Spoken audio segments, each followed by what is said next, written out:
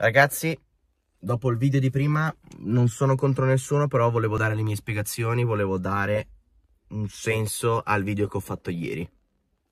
Quindi se bisogna fare una, una comparazione tra, eh, tra, delle macchine, bisogna farlo in base al tipo di macchina che si sta confrontando. Quindi una Toyota Yaris Cross non bisogna confrontarla con, che ne so, una Polo, una Volkswagen Polo GPL, no bisogna equipararla con macchine simili, quindi una Renault eh, Captur e una, ad esempio, Jeep Renegade, quindi una macchina ibrida.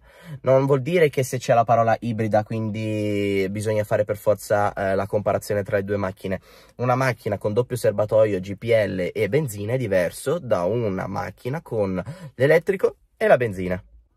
Secondo voi perché su quattro ruote o eh, in, altri, in, altri, video online troverete le, eh, i confronti tra le tre macchine che vi ho detto prima? Perché sono della stessa, eh, della stessa famiglia, delle macchine ibride, quindi elettrico e termico. Poi non mi si può dire che una macchina con 188 km fa, eh, fa 20 km al litro nel 2024. È una cazzata, totalmente cazzata.